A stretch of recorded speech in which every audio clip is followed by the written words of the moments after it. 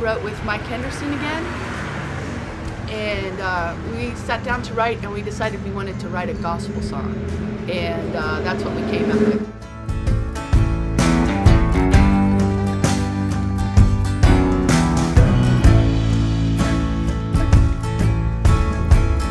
I am alone on stormy